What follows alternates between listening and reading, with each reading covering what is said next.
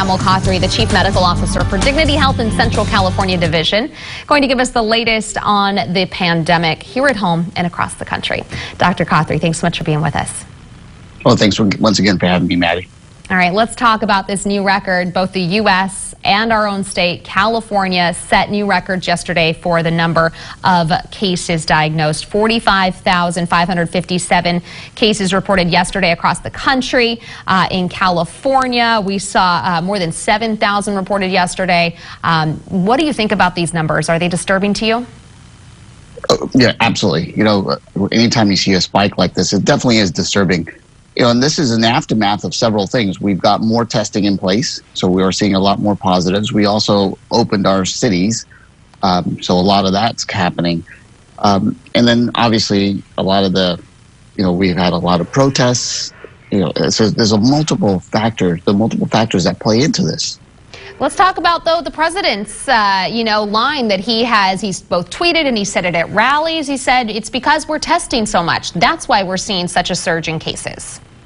Well, well, there definitely plays, you know, some role in, in the amount of test positives that we're getting, but I don't think that accounts for every single test positive that's out there.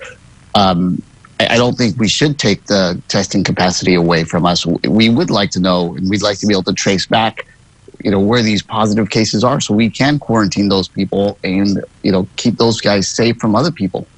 In an update on Tuesday, Dr. Fauci said, uh, talking about the vaccine prospects, that he was cautiously optimistic that a COVID 19 vaccine would be available by the end of this year or even early 2021. What needs to happen so that a vaccine is ready and available? Where are we? Well, several things. First, we got to figure out a, an antidote for the virus that will help boost our immune system. Um, and then we've got to go into some clinical trials to make sure the vaccine is safe for human testing as well. I, I don't believe it's going to be here this year. I believe it's going to be here 2021 even that, though, would be a record timeline for a vaccine. And Dr. Fauci um, on Tuesday said, we're taking financial risks, not risks to safety or risks to the integrity of the science to get this ready that quickly. But still, how can Americans feel safe uh, and in taking a vaccine that was developed on a timeline that we've never seen before? Absolutely. You know, and it goes back to our antibody testing that we have currently. You know, we got those tests out very quickly and they're not very accurate they're about 50% accurate. So I think Americans will be a little skeptical to get a vaccine that comes out too fast.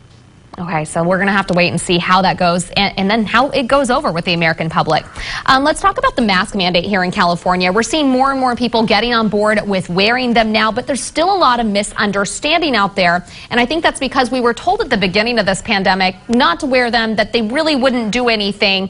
Um, can you explain now what we know about masks and the spread of the coronavirus?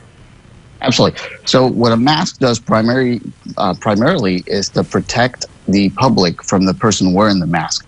It does g- give you some protection, but it's primarily for the other people. So, when you wear a mask, you're hoping not to pass, if you have the virus, not to pass it to other people.